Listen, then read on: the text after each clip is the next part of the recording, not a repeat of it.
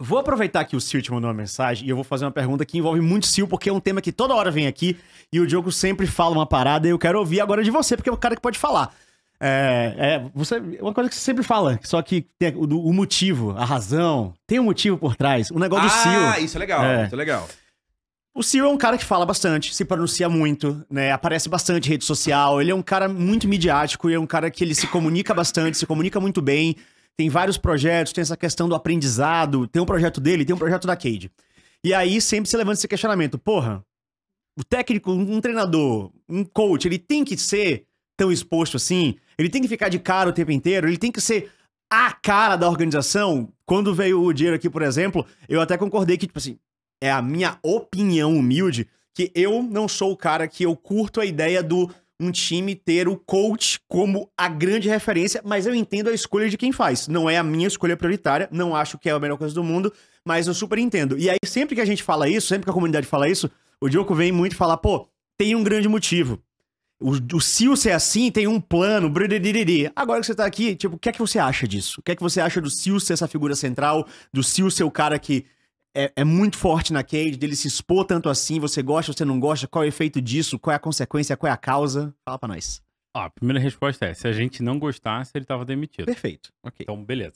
Eu acho que, cara, eu acho que assim, o mais importante, eu acho que não tem jeito certo, não tem jeito errado, mas eu diria pra você que o mais importante é a gente ser a organização ter um comportamento honesto. O que que eu tô falando honesto? Pô, não adianta o treinador ir lá, por exemplo, pra rede social, falar que ele manda, que ele faz tudo, se durante todos os treinos o CEO, o dono do time, tá sentado atrás e tá medendo o bedelho e o cara é prata 2. Tá, Então, tipo assim, ó, não faz sentido isso acontecer. tá bom. Não tô falando que isso acontece, não, tá? Mas tô Tá, falando que, assim, sim, nesse sim, sim, caso, sim, sim. não faz sentido a gente ter um, um técnico que fala que é tudo. Agora, no nosso caso, o nosso alinhamento, o nosso direcionamento, todas as coisas que a gente decide junto, é de fato decidida junto. E eu acho que é uma coisa que talvez seja um pouco diferente no Brasil, é que o Sil, ele tem... Quando a gente fala de treinador, quando a gente usa a palavra coach, a gente, tá, a gente lembra muito de técnico Sim. né? Mas a gente tá com a figura do técnico, que é o cara que faz o draft, é o cara que escolhe como vai treinar na semana, mas eu acho que isso é uma parte do trabalho do treinador. Eu acho que o treinador, ele é de fato o cara que ele controla o grupo e ele tem que controlar o projeto. É, pra mim o head coach do LoL é, na minha visão ideal, que não acontece porque a gente não tem tanta gente, é o head coach da NFL. Ele é o coordenador de... Mas eu acho que é isso que tem na Cage. E aí eu acho que. Sim. E aí eu... Não, isso é o que tem na Cage. Não acho, é isso. E eu acho que, tipo assim, é o ó, melhor modelo possível. por que a gente não tem tantos coaches assim no Brasil? Provavelmente porque todos são ruins. Porque se você. O ruim que ele tá Os falando- treinadores que. Não, é ruim mesmo. É, mas Porque os treinadores. Treinadores. porque, eu também sou adepto de- disso, mas explica ruim no quê? Não, é ruim, é ruim não saber fazer o que tem que fazer. O que é saber fazer o que tem que fazer? Não, é, não sabe de técnica, não sabe da técnica do LoL, não sabe gerenciar pessoas, não sabe então, gerenciar é elenco, multitalento. não sabe, por exemplo, entender que existe limites de budget, não entende como negociar salário. Por exemplo, um, um treinador que ele não faz nada disso, a organização monta o elenco, a organização negocia compra e venda de jogador, cara, ele é um fantoche. Se ele quer ser assim, tá tudo bem, acho que cada um ser a mesma pessoa, mas se a gente for olhar, por exemplo, para todos os esportes, tá? eu não tô falando de esportes, se a gente for olhar para todos os esportes onde Uhum. existem grandes times, você consegue pensar um que você não sabe o treinador? Não, não tem Porque condições. todo grande time começa com um bom treinador. Sim, sim. Então, quando você olha para futebol, quando você olha para basquete, quando você olha para NFL, então eu acho que o papel que a gente tem com o Sil, eu acho que ele é um papel normal quando a gente está falando de esportes, mas eu acho que é um papel que talvez ele seja novo para o mercado de League of Legends brasileiro, né? Então, por exemplo, dentro do dentro da Cade, eu acho que eu acho não, o Sil, por exemplo, é ele participa ativamente em negociação de jogador em compra de jogador, em venda de jogador, na negociação do contrato do jogador, Isso tudo eu acho que é o que é essencial. na negociação. Mas não, isso é raro, tá? não, não. Não, não, é o essencial. No organograma, no organograma Hum. é, de esportes, então, por exemplo, quem é o ponto de contato, onde que fica o psicólogo, o psicólogo fala com quem, o analista responde pra quem. Tudo isso é decidido, eles fazem parte da decisão. Não é uma coisa que eu tô sentado na minha cadeira e eu falo, nossa, olha só, vou inventar tal coisa. Não, não é isso. É, e aí, quando a gente tem, por exemplo, decisões que elas precisam ser da empresa por diversos motivos, jamais vai existir uma- um, um, um, um momento dentro da, da que eu chegue pra alguém ou que alguém da Cade chegue, por exemplo, para um treinador de um time, ou chegue para um é, pro Sil e pro Joko, eu falo pro Sil e pro Joko porque eles, eles são um pouco além de treinadores, né? Uhum. E falar, tipo assim, olha, a gente vai tomar atitude, a gente vai precisar tomar uma, uma, uma atitude, essa é a atitude. Não, a gente vai chegar e falar assim, cara, olha só, tem essa situação, esse aqui são os motivos, a gente acredita que essa vai ter que ser a, vai ser a única, essa aqui é, é o melhor caminho para a empresa, por isso, por isso, por isso. Qual é a sua visão por isso? Normalmente, a gente consegue trazer essa pessoa on board. A, a, essa pessoa, ela, a gente consegue trazer ela pro nosso lado. Não significa que necessariamente a gente tá tipo assim, ó. Pô, eu quero te convencer a todos os custos. Mas é porque a gente abre informações suficientes para pessoas entenderem o que a gente tá pensando. Porque uma coisa é eu querer te convencer de algo e eu te dou 20% da informação. Talvez eu consiga te convencer. Mas se eu te der 100% da informação, eu te compartilhar tudo que eu sei, tudo que eu acho que pode ser um problema, tudo que eu acho que pode ser uma solução, e como cada coisa impacta, muito provavelmente a gente vai chegar na mesma resposta. Ou se a gente não chegar na mesma resposta que eu tinha, a gente vai chegar numa nova resposta, Melhor do que as mas é a resposta que a gente chega junto. Uhum. Entendeu? Então, por exemplo, o, acho que o papel que o CIO tem é muito por causa disso. Acho que é porque dentro da Cade a gente opera de uma maneira muito diferente dos outros times.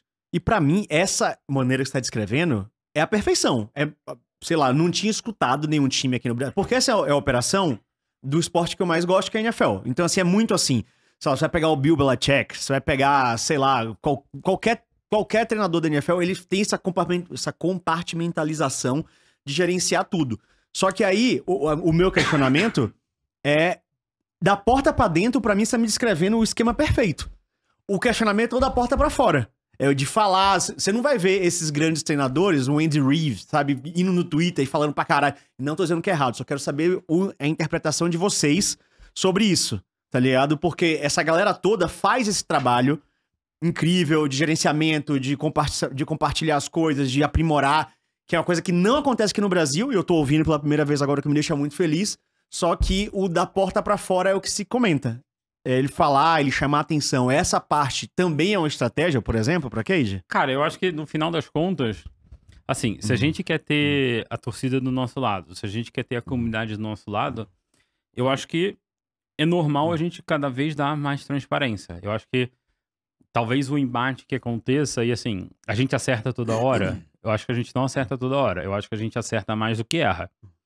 Mas eu acho que a gente precisa compartilhar as coisas. Porque, por exemplo, vamos olhar pro futebol, tá? Você tem aquele jogador que tá num time e ele ganha um salário, sei lá, no Brasil, 3, 4, 2,5, 3 milhões de reais. É muito dinheiro por mês. É muito No dinheiro. Brasil. E aí você tem duas opções. O cara só faz. Pode falar? Olha merda, Cara- puta cara- cara- cara- o cara, coisa. tipo assim, ó, o cara só faz merda. Ah. Aí tem duas coisas. O treinador chega pra torcida e fala: então, ó, eu não escalei ele porque no final das contas ah, não era o esquema tático. Cara, a torcida vai chegar e vai falar: tipo assim, olha, ele é. Esse treinador só é burro. E aí você tá defendendo o jogador. Uhum. Mas você também tem a opção de falar, tipo assim, ó, jogador, vamos lá. Ou você entra no eixo, ou eu não vou conseguir mais te defender. Sim, com e aí certeza. ele joga, e aí ele ser transparente.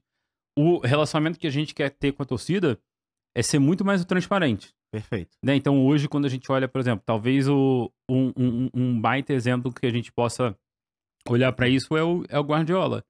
Né? Ele é o Todo- exemplo, eu acho, né? todo time que ele passou, ele é extremamente vitorioso, ele sempre teve grandes jogadores com ele, mas mesmo ele tendo, por exemplo, treinado jogadores incríveis, você sempre vai lembrar dele. Significa que a gente está tentando ir pelo mesmo caminho? Não. Mas significa que eu acho que existe uma grande diferença onde a gente, de forma alguma, a gente vai querer é, passar uma informação que ela não seja. A gente gosta de explicar os nossos motivos, Uhum. porque eu acho que isso torna as pessoas mais fáceis de entender. E a gente também não acredita que passar os motivos torna de qualquer forma pode ser um ponto fraco para Cade. Acho que não, acho que é só positivo, né? Isso significa que a gente passa tudo 100%? Não. Mas significa que entre todas as coisas que a gente todas as coisas que acontecem, a gente faz um filtro e a gente fala aquelas que a gente acredita que precisam ser faladas. Isso significa que eu tô falando aqui, tipo assim, pô, tudo que o Sil já falou, tudo que outras pessoas falaram é, deveria ter sido falado? Não, foi o que eu falei. Existem momentos que a gente erra? Existem momentos que a gente erra. Aham. Mas eu acho que quando a gente pega na média, a gente acerta muito mais do que erra. E eu acho que a gente vai continuar sendo dessa maneira. Por quê? Porque as pessoas, e seja um treinador, jogador, quan- fala, falar quando ganha é muito fácil. Muito, muito fácil. Né? E aí eu acho que isso é uma coisa que acontece. A gente tem as pessoas que ficam quietinhas, não sei o que lá, e quando ganha. Nossa, é, é o caminhão de falar merda. Mas, tipo assim, ó, se você fala sempre, o relacionamento já é diferente. Porque se eu ganhei, eu posso falar qualquer coisa pra você que vai ser verdade, pô, eu ganhei. Sim, sim. Então, tipo assim, qualquer coisa que eu falar pra você que eu fiz, tá certo. Porque simplesmente qual que é o mais importante? Ganhar. Ganhar. Então, eu acho que assim, o nosso posicionamento, ele passa pelo Sil ser na cara, simplesmente porque, na, como a Cade quer gerir as coisas, a gente não poderia ter, por exemplo, um coach batata. A gente não poderia ter um- uma pessoa ali que tá só de corpo presente. A gente precisa de cérebro. E eu acho que as e pessoas... atitude, né? E as pessoas inteligentes, elas Hum. têm é, atitude, elas gostam de falar, Uhum. elas não gostam de ser, tipo, de... Elas gostam de, elas gostam de compartilhar o porquê que elas estão pensando. Então, eu acho que é muito por isso. Eu acho que não tem, não tem problema nenhum. Entendi. É Aproveita. lógico que Diga lá. isso é o disclaimer também. Existe um limite do que a organização é responsável pelo que a pessoa fala. Porra, totalmente, tipo assim, né? é, ex- existe o que ele tá falando, ele deu uma perspectiva da organização Cade. Uhum. Mas o CEO ele tem os próprios motivos, os próprios objetivos dele de vida, e isso aí vai regular também o quanto que ele vai falar mais ou menos em mídia social. A grande, a grande questão pra mim, e que é o que você perguntou, é que pra mim tudo que o CEO fez, até as, até as falas, abre muitas aspas, ruins, elas acabam indiretamente beneficiando a Kid. Porque, de novo, a diferença. Você me responde, Vex. A diferença em- de relação com o público de 2023 e 2024, pela existência dele e dele tá falando com a torcida, é brutal, não? Não, é, é gritante. Acho que é tão, é tão gritante ao ponto da gente.